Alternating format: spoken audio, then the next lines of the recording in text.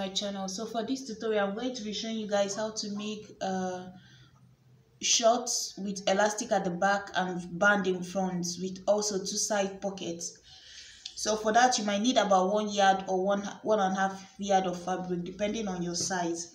So the first thing you're going to do is to fold your fabric into two. And then you're going to check the width. So your hip measurement plus two inches. So for me my hip measurement divided by 4 that's 12 plus 2 inches that's uh, 14 if you want you can add ease like 0.25 if you want don't add ease. But your seam there's no seam allowance added here. The seam allowance is going to come at the back. To hip measurement divided by 4 plus 2 so my hip measurement is 48 divided by uh, 4 is 12 right? Plus extra 2 inches which is going to be added at the crotch that's 14 so i have 14 inches of width here. So i'm going to just go ahead and mark my uh put in my crotch. So the length i'm going to be using here is about 17 inches. I'm going to just mark that here.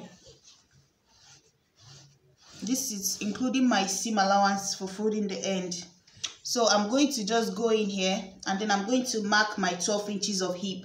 I'm going to mark it. This is going to be my waistline. This is the end of my pant so starting from my waist i'm going to mark that 12 inches here right? But to get your crotch what you're going to do is just put sit down on a on a flat surface and let's say this is your waist. You're going to measure from your waist your high waist down to the chair and figure out the uh, i'm going to insert a picture on how to do that here so you, whatever you get is your crotch so then what you're going to do now is to whatever you got for me i got got 12 and i'm going to just mark the 12 here. And then what i'm going to do next is to mark it this way right? So i'm going to make sure that that 12 fits in here on a straight line.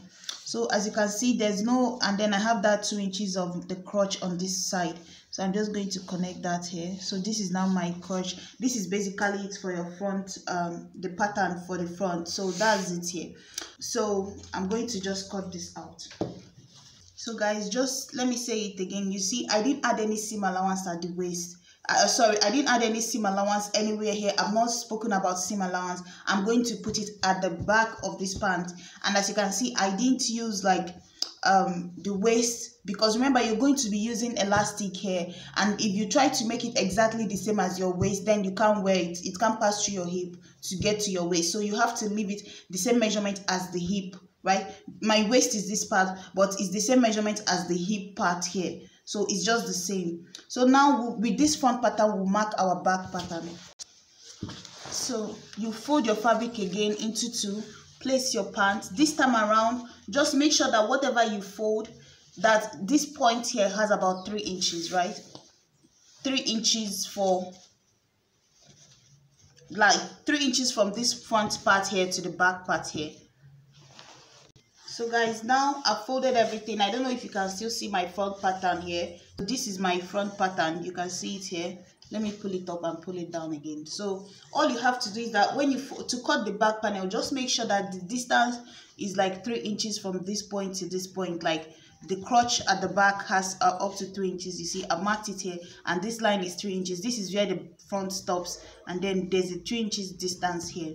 If you're smaller size maybe like small small you can use like 2.5 or 2 for the back also so what i'm going to do next now is to add two inches at the back here. So you're going to go ahead and add distance of two inches from this center back here. You see from this center back uh, center of this front one. Just keep on adding two inches all the way right? So i'm going to put this up here and just add two inches all the way. Now we are putting these two inches our seam allowance. We didn't put it before. Sorry.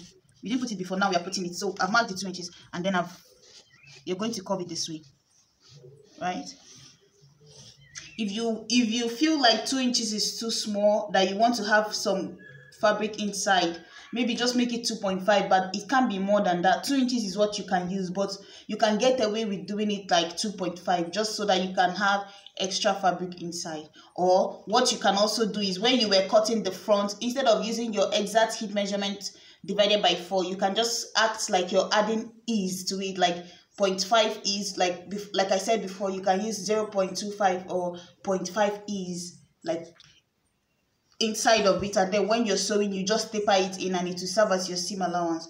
But normal normally you can just put two two inches at the back. You see we finished that part. Coming up to the waist here if you're more on the bigger side like you you know your hip is maybe like 49 50 or so then you might want to use three inches here just to cover up the butt. If you feel like maybe you're the smaller size medium 2.5 and then small just use two inches. Just because the butt is at the back so you need the back to be up to cover your you need it higher than the front is what i'm saying. So what i'm going to do now is i'm going to use three inches because my hip is 48 so i'm going to use three inches because i want it to come up at the back. I don't want when i sit down the back will just like the pants will pull down and then you'll be seeing my pants. So what i'm going to do is to mark three inches. I've marked three inches here. And then what i'm going to do next is to connect these three inches to this end. Right? So from this point of three inches i'm going to connect it to the end because remember the the front and the back of the pants they are supposed to meet right the side this is going to be the side of the pant the crotch part is the center of the pant the sides that meet together you, you they are supposed to be of the same length. So that's why you only this is going to be the center back of your pant that's the part that is going to be higher. But the coming to the side is supposed to be the same length as the front. So that's why you cut you mark the line going down here. So that's why this line comes down here so that the side of the front and the side of the back are the same so now i'm going to just cut this out. So guys now we are going to just split open the side. So you see you're going to have two for the back and two for the front. So i'm opening up this part here. So you see this you're going to have so basically you go to the sewing machine you join the center back together right? And then you just go ahead and add like a five inches dart here. Just come down here maybe like five inches away from the side or six inches away from the side. Just putting this you can skip this dart at the back but the front you can you must put the front dart. So but the dart at the back you can skip it because there's still going to be elastic here. So the the dart will not be showing but it's just to pull to pull the fabric together at the back so that it's not too puffy at the back. Like when you put the elastic what you have together is not too much. That's the reason i like to put a dart at the back so that the fabric will not bulk up at the back. That's what i'm saying. So what you're going to do is just mark half an inch half an inch and then just dart it right on this side and the on the other side. So i'm just going to notch it here. So that's all i have to do for the back pattern. I'm going to set it aside. So what i'm going to do is to show you guys my front uh darts. So what i'm going to do here is first i'm going to come down half an inch here and then you're going to just blend it in right? Blend it in. And then you're going to cut this out. And then after that you're going to skip half an inch here for your sewing. Because remember you're still going to join this together. So i'm going to skip that half an inch and come in. You can use your breast point. You can use just if you're on the smaller side you can use 3.5 if you're on the bigger side or just medium you can just use 4 inches. And then extra large or extra extra large can use 4.5 as the distance of the dart. So i'm just going to come down here from this point to um about seven inches or so right? So you're going to stop from your waist to wherever your your hip is. You're going to stop two inches before that. So let's say your waist to hip is like 11 inches. You're going to stop two inches before that. So i'm supposed to stop somewhere about this eight inches is where i'm going to stop. And then i'm going to just mark half an inch on each side and that's going to be my dart for the front. So i'm going to also notch that here. And then for the pockets what we are going to do is to come down here. There are two ways to put this pocket. You can just go ahead and put the ordinary pocket that just goes by the side right? You can just use a different color of fabric self and just put um pocket by the side. Or you can also do this one here where i'm still going to make a video on how to just attach pocket in any fabric that you want any cloth that you want. But for now i'm going to show you guys this other method where you're just going to come in by um like let's say about four inches in and then i'm going to come down by about 6.5 inches. Okay that will fit in. And then you're going to connect the two together right? So this is now my pocket here. I'm going to cut this out and then cut out another fabric that i'm going to use. So this here i'm going to cut it out right? So guys this is what i'm going to be using here. Is about eight inches of width and then about 10 inches of length.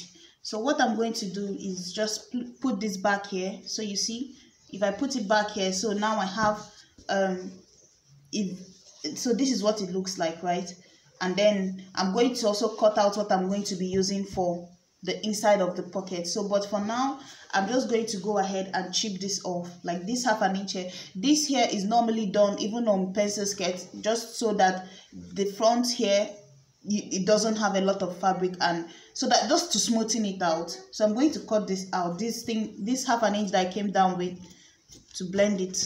So i'm going to just cut this out so guys this is it here. As you can see i've cut out um the second part of my pocket. So this one here is so basically what i did is this is the second part i'm going to use for the lining. What i did is to cut exactly the same as this rectangular one here.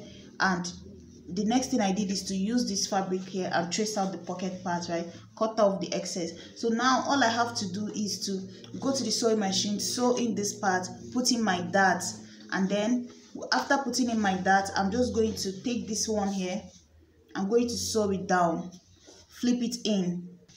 So guys as you can see i've done one side. So this is the other side. So you see what i was saying? Just sew this down this way and then you're going to just notch notch it so that the tension will release a little and then the next thing you're going to do is to fold it back in and top stitch it. So you see i finished this one and i top stitch it so that when you put your hand the line whatever you use will not be coming out. I prefer to use lining inside of it so that it's not bulky. So the next thing you're going to do is the square that you didn't cut out. This is the point where you can change the color of this here you can use like a plain fabric. That's when you see that some pants the back of the pants the side of the pocket has a different color. This is the method here. So what you have to do is you're going to put it this way. Now you have your normal waist back again. So put it this way and just use a loose stitch to hold it down onto so guys you see i've added my band. You see what it looks like now. So if i remove this pin here you see my pocket is ready. The lining is on this side the pocket is on this side. I i sewed it down on on here this side here. With just a loose stitch and the same thing goes for this side so so you see my pocket is ready. So what i'm and then you can also see my darts so let me flip the inside so you guys can see. You see my pocket here? So what i'm going to do is to just go and go back in here and just close up this pocket so that when you put your hand because right now if you put your hand it's open. So i'm just going to take these two here and then close it up the same see my darts here close it up here. So i've put in my band. So just to put in your band what you need is about five inches of width is what i use. You iron in your stay and then you fold it this way. Five inches so that when you fold it into two you have 2.5 on this side 2.5 on this side. And then you fold it that 0.5 on each side and then you use it to attach your band. So that's how i put in this band. So you're just going to take your band and put what how, how the, the any length that you need is what you're going to use it. I can't tell you how much band you will need for the length. You're just going to take it and so however length you need is what you're going to use here. So that's what i did for the band but the back is going to be longer because that's where the elastic will be right? The length you're going to need here will be longer because remember that's where your elastic will be. So here i'm just going to use the same band again pass it through here and then put in my elastic.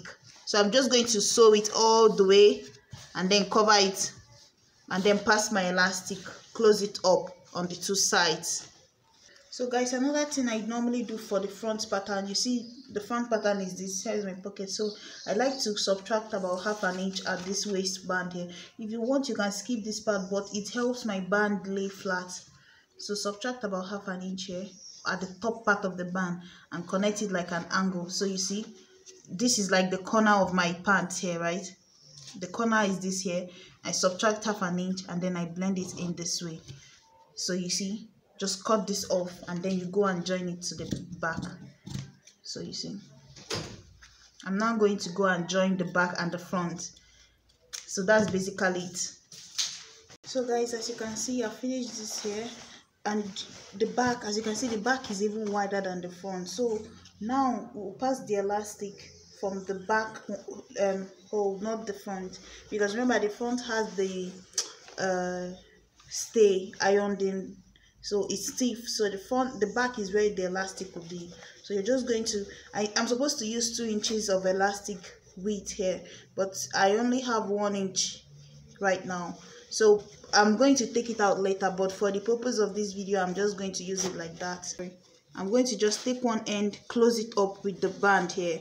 You see my band from the front. I'm going to just close up one end. So people were asking me the other time how much elastic do i need? I never know how much elastic i need. I just go ahead and just pull it until i feel like it's tight enough or you can try it on yourself if you if you're making it for yourself. It's it can't be half of your waistline. It's normally like less than that and then you just pull it pull it pull it until you feel like it's okay and then you hold it down. So that's basically it. You sew the two ends short and that's it. So that's basically how you make this pants thank you guys so much for watching. Please like share and subscribe. Bye